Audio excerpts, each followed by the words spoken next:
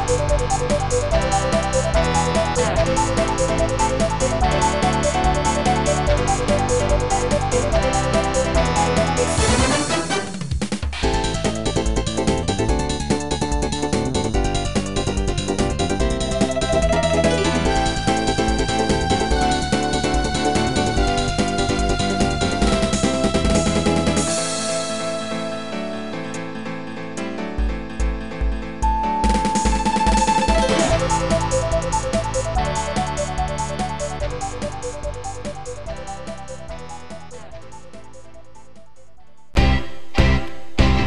They call me the Dark Lord Voldemort